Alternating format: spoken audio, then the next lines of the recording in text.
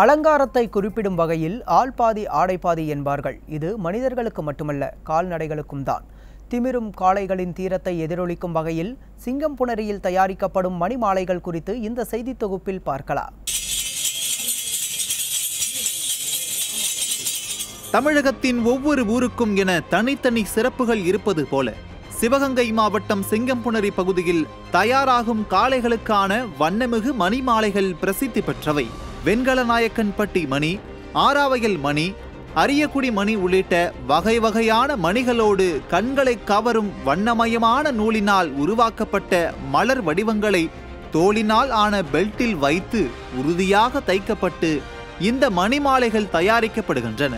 ஆயிரத்து ஐநூறு ரூபாய் முதல் பத்தாயிரம் ரூபாய் வரை விற்பனையாகும் இந்த மணிமாலைகள் காளை வளர்ப்போரின் விருப்பத்திற்கு ஏற்ப அவர்களுக்கு பிடித்த வகையிலான மணிகள் மற்றும் வண்ண நூல்கள் கொண்டும் தயாரித்து தரப்படுகின்றன. ஜல்லிக்கட்டு காளைகளின் கழுத்தில் கட்டப்படும் இந்த மணிகளின் சப்தம் காளைகளுக்கு உற்சாகத்தையும் மாடுபிடி வீரர்களுக்கு அச்சத்தையும் ஏற்படுத்தும் என்கிறார்கள் காளை வளர்ப்போர். இந்த மணிமாலைகளை தைப்பொங்கல் நாளில் தங்களது ஜல்லிக்கட்டு காளைகளின் கழுத்தில் அணிவித்து அழகு பார்ப்பது காளை வளர்ப்போரின் விருப்பமான ஒன்றாகவும் உள்ளது. அதற்காகவே சிங்கம் புணரிக்கு வருகை தந்து இந்த சலங்கை மணிமாலைகளை வாங்கிச் செல்வதாகவும் பல்வேறு மாவட்டங்களைச் சேர்ந்தவர்களும் தெரிவிக்கிறார்கள். சிஎம் நிறைய பொறுத்த வரைக்கும் இந்த மணி ஸ்டைல் தான் ஃபஸ்ட்டு அவங்ககிட்ட வந்து வாங்க வர மணி பார்த்தீங்கன்னா அரியக்குடி மணி தான் பெஸ்ட்டு அரியக்குடி மணினாவே அந்த சவுண்டுக்காண்டி வாங்க வர அந்த மணி.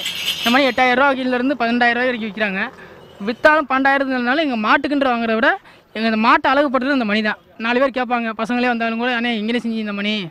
இங்கே நிறைய இவ்வளோ அழகாக செஞ்சுருக்காங்க அப்படின்னு கேட்பாங்க. அதுக்காண்டி இந்த சவுண்டுக்காண்டி தான் இந்த மணி வாங்க வர்றதே நாங்கள் சிஎம் சிங்கம் புணரியில் இத்தகைய மணி மாலைகளை குறிப்பிட்ட சமூகத்தினர் மட்டுமே பாரம்பரியமாக தயாரித்து வருகின்றனர். ஜல்லிக்கட்டு தடை காலத்திலும் கொரோனாவாலும் நலிவடைந்த இந்த தொழில் தற்போது ஜல்லிக்கட்டை எதிர்நோக்கி மீண்டும் சூடுபிடித்துள்ளதாகவும் இரவு பகல் பாராமல் இந்த மணிமாலை தயாரிப்பில் ஈடுபட்டு உள்ளதாகவும் தெரிவிக்கின்றனர். முழுக்க முழுக்க மனித உழைப்பாலும் கற்பனை திறனாலும் மட்டுமே தயாரிக்கப்படும் இந்த கலை நயமிக்க வண்ணமயமான மணிமாலைகள் ஜல்லிக்கட்டு காளைக்கு மட்டுமல்ல தொழிலாளர்களின் உழைப்புக்கும் பெருமை சேர்த்து வருகிறது. நியூஸ் டே செய்திகளுக்காக செய்தியாளர் குரு ரமணா மற்றும் ஆசாத்.